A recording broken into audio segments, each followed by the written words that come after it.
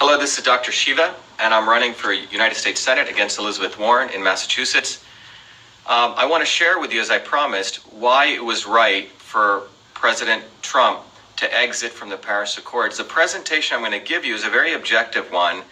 Um, we need to recognize that many people who are supporting the Paris Accords, if you ask them, why should we have been in this? Give me one benefit. No one can really give any benefit. In fact, I haven't had anyone rationally explain even one benefit. What I'm going to explain to you uh, very quickly here so everyone can understand in very simple ways is why it was important that Donald Trump got out of this, why, and why it was essentially going to support an international collusion to basically support the polluting of our environment, and more importantly, to basically tax all of us, businesses, small businesses, big businesses, uh, primarily a lot of small businesses, and every consumer here with a carbon tax. And it's a very simple uh, ex- exposition of this, and I hope I make it clear to you. And obviously, if you have questions, we're periscoping, you're welcome to join us. First of all, let me explain something very basic here. So, in this circle, let's consider the fact that we have a lot of businesses here. These are um, businesses throughout the world.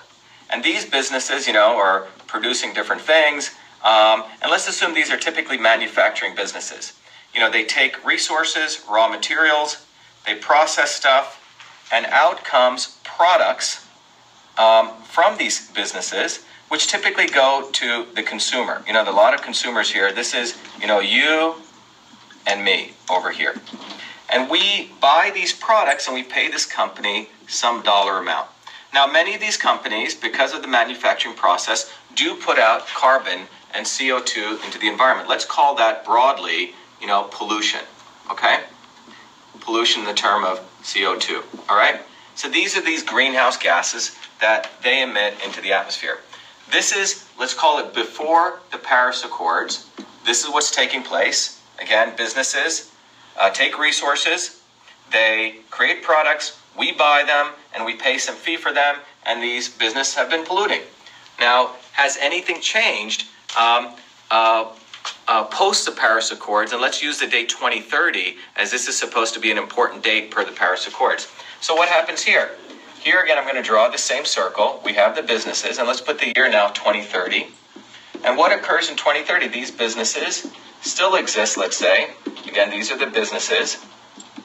And they are creating products, as I mentioned before, to us as consumers. Same situation.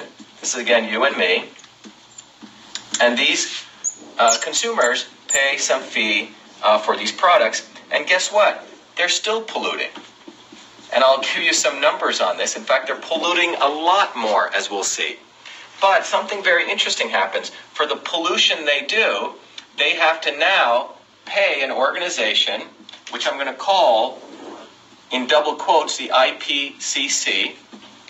Uh, and this group uh, is composed of people like Al Gore, you know, people like uh, the Bushes, uh, you know, many people from the commodities market, and essentially a global elite in here, uh, quote unquote scientists. A dollar goes here, dollars go in, and these people deliver these people something called carbon credits. And what this allows these companies to do now is to pollute, but in order to pollute, they have to pay this organization a fee, and th- this organization issues carbon credits. In fact, it gets even more interesting. These carbon credits, if you look at the commodities market, the global commodities market, market are these carbon credits are bought and sold here on this commodities market to people. And this generates the ability for this group to generate trillions, not billions, let me explain, trillions of dollars in new source of wealth. So these carbon credits were created by this group as a vehicle to essentially charge polluters something and this group has the potential to make trillions and trillions of dollars. So, how did this all happen? And what was the Paris Accords? Well, the front end for this entire organization, by the way, Al Gore uh, substantially, at, at a certain point, monopolized, had had access to a large number of carbon credits, which he had accumulated. And his goal was to have a payday by forcing these businesses in the future around 20, post 2030 to buy these carbon credits. And if you actually look at this, the IPCC's PR, I call it their PR machine, was what we call the Paris Accords. The Paris Accords was really their PR engine to get this out as though everyone needed to get on board. And what the U.S., if you look at the United States here, uh, you know, put the flag here, the U.S. Uh, was being forced by the IPCC. By the way, this included Democratic establishment Democrats and establishment Republicans who were essentially telling the U.S. government that it needed to create what we call a green fund.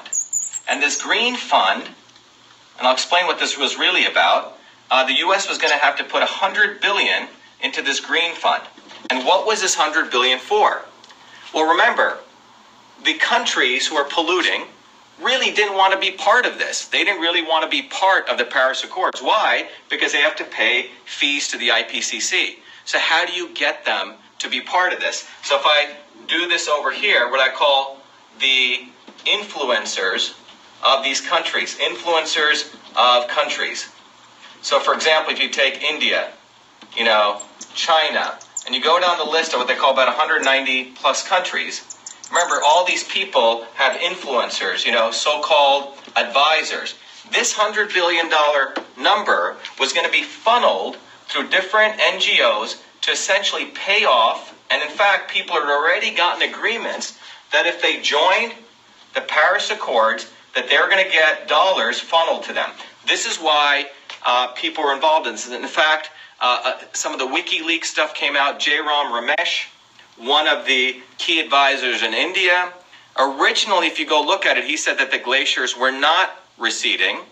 And later on, it was stated that the glaciers were receding.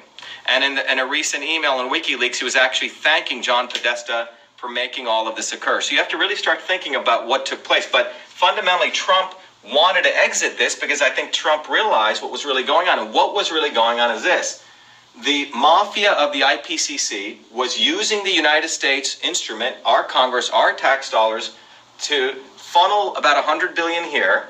So we would pay off these people to join the Paris Accords. Now, let me just tell you, 100 billion is relatively small amount because these guys were going to make trillions. So let me let me follow this through again so you get it.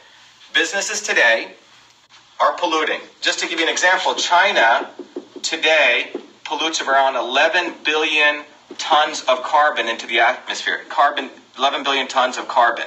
That's what they're doing today. By 2030, do, between now and 2030, guess what? China's still allowed to pollute. In fact, China is allowed to go up to 22 billion tons, which means they're allowed to go 11 billion tons in carbon, which means they're going to pollute more. They're going to double their pollution during this period. No penalties. And that's how they got China to join. After 2030, there's going to be a big payday for these guys because they're going to be able to sell China carbon credits. I hope everyone's following. The bottom line is these set of 190, in many ways, uh, so-called influencers and advisors, many of them essentially are waiting for this $100 billion payday, supported the Paris Accords because they're going to be paid, and that's how they force their countries' advi- uh, countries' prime ministers and people to say, yeah, we got to join this Paris Accords.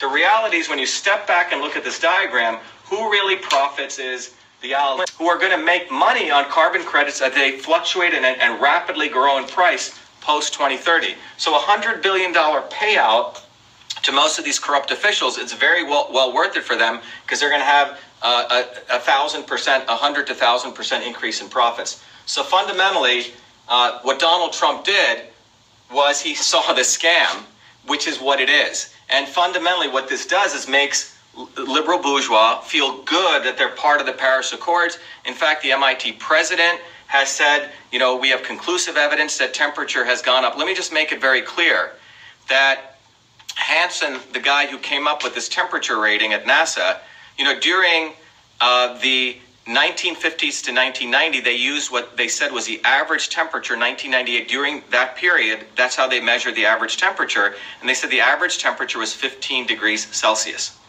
And they predicted in 1990, uh, around 1988, that temperature was going to go up. So again, in 1988, papers are starting to come out saying the average temperature measured between 1950 to 1980 is 15 degrees, and they're saying, you know, temperature is going to rise on the planet Earth.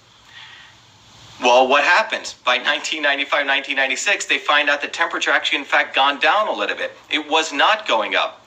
And somehow, mysteriously, around 2002, Hansen says, yes, the temperature has gone up.